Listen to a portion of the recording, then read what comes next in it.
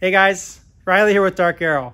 Today I'm doing some work installing the wingtip lights in the wingtips themselves. I'm gonna let you follow along as I work. This won't exactly be a how-to video, but I'll try to explain what I'm doing as I go. So let's head over to the workbench and I'll show you my setup. To start out, I laid out everything that I need on my workbench.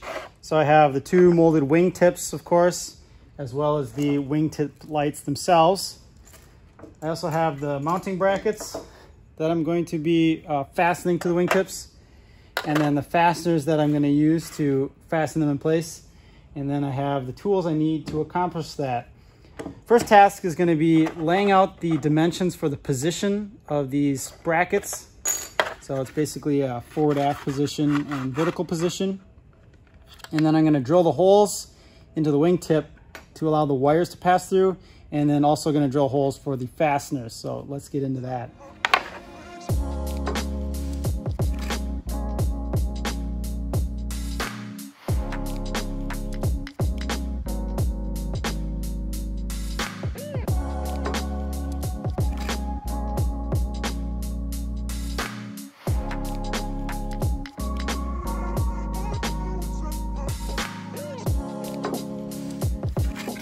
I laid out the positions for my holes for, for the wires and the fasteners.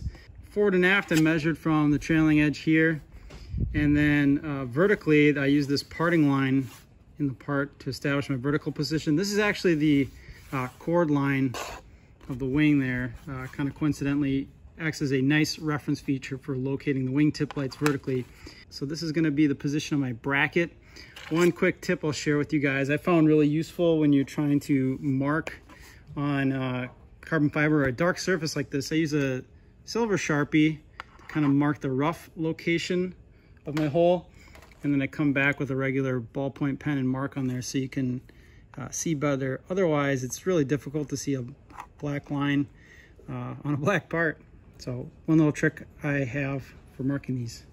When drilling the holes for the wires, I'm going to use uh, a larger step bit to get the big hole right here, and then just a uh, regular smaller drill bit to do the holes for the fasteners.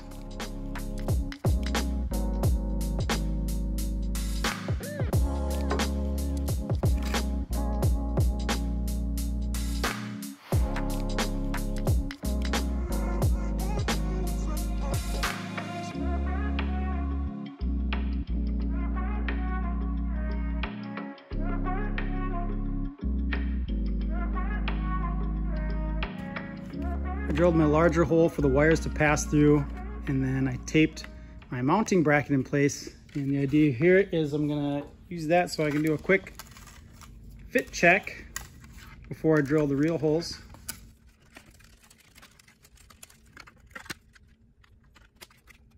Okay, so you can see what that looks like.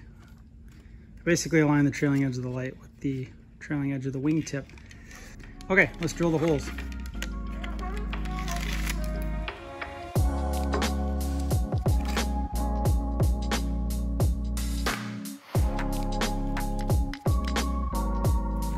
I drilled the holes and I made them a little bit undersized and that allowed me to thread these stainless steel screws in, uh, basically thread it right into the tip and I can uh, hold it in place right now and install the wingtip light just to do the fit check again with actual fasteners.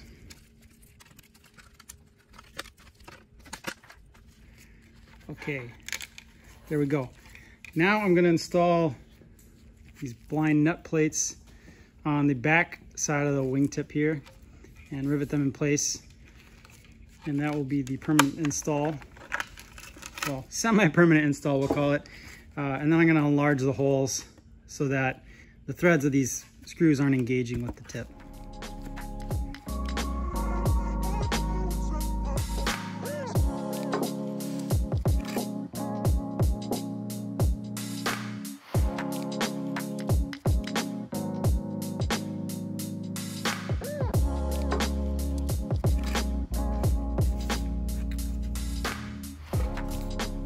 I put the screws through into the nut plates so they're held in place right now. They're positioned so that I can match drill the holes, uh, two on each nut plate. And then I'll have to countersink the holes so that they're flush and then I'll rivet them in place.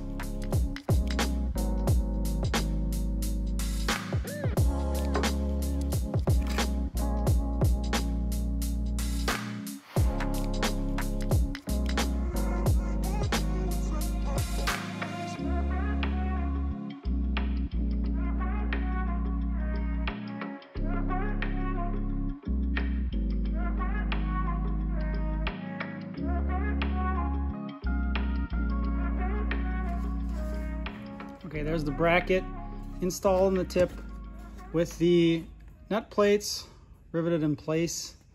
Let's see how the light fits up.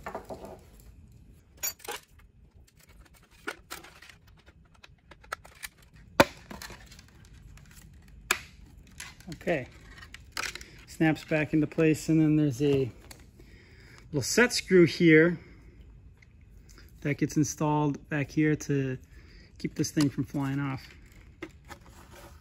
That's the basic idea though. Let's go see how it looks on the tip of the wing. Here it is fitted up on the wing tip. The wing is still sitting inverted right now, so the curves might look a little funny. And you'll notice no fuel cap that's underneath. Just held in place with scotch tape right now. Same way we're gonna do it on the final version. No, just kidding there. Uh, it'll get bonded in place. The tape is temporary, just for the fit up. So yeah, you can get an idea of what it'll look like in the final install. So there you go. That's the process that I went through to install the wingtip lights and the wing tips. Uh, next up, we're going to be bonding this tip onto the wing and then connecting the electrical wires to the rest of the electrical system and powering them up and see what they look like for real on the wing. So that should be pretty exciting. All right, thanks for watching. We'll see you in the next video.